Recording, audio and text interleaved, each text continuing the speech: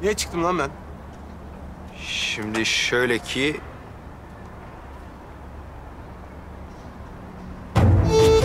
Mustafa abim anlatacakmış. Seni evde bekleyin.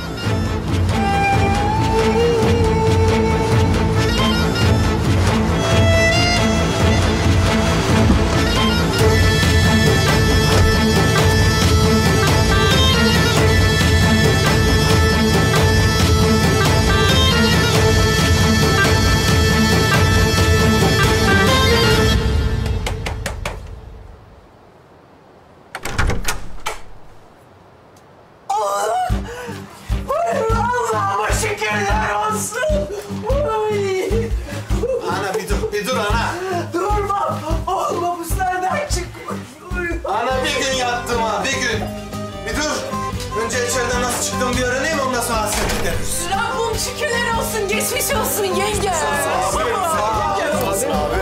Allah seni kurtardı ya daha da bir şey. Sen itirafı Vedat'a verip mi çıkardın beni?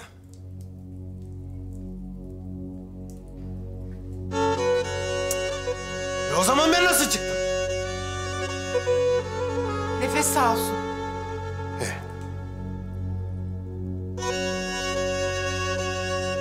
Vedat'a mı gitti?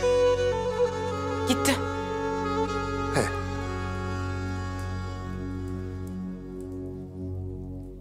Vedat'ı paket etti, geri geldi.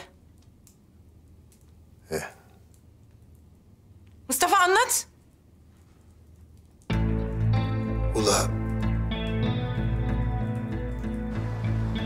Ne ettiniz, ne ettiniz?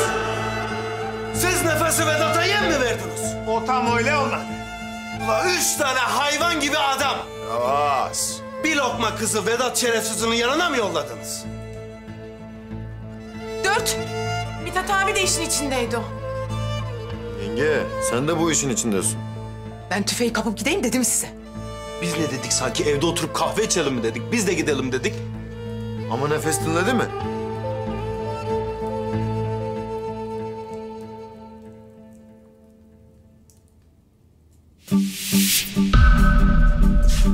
Bu plan çok saçma. Dua edelim de Tahir abim içeriden çıkmasın. Ula salak mısın? Çıksın diye uğraşırık. He sonra da nefesi Vedat'ın yanına yolladığımızı anlatsın. Aa, bu iş yaş. Abim nasılsa topumuzu temizledikten sonra geri girecek hapse. Bence boşuna uğraşmayalım.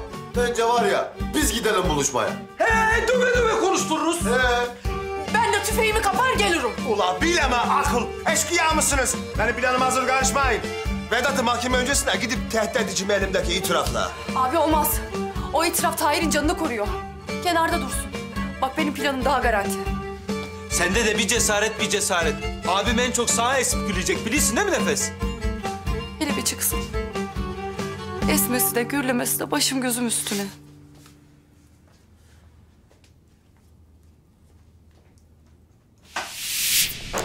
Vay demek esip gürlemen başı gözü üstüneymiş. He vallahi aynen öyle dedi. Siz de bu numarayı yuttunuz. Ula kolundan tutup oturtamadınız? Laf kurma. Sanki nefesi oturacak göz var mı? Aa senin bu Yavaş. Asiye Reis. Bir nefes işi. Ula bir gün kaldım içeride, bir gün. Olan olaylara bakın. Ula ben ne edeyim size? Bir teşekkür edebilirsin mesela paşa. Edeyim. Ha, edeyim, oldu. Bekleyin edin. Ula nereye gidiyorsun? Hesap sormam gereken bir geyik var. Siz de sıranızı saldınız sanmayın, geri geleceğim. Kızı özledim gidip göreyim demek yok. Hesap sormaya gitmek var.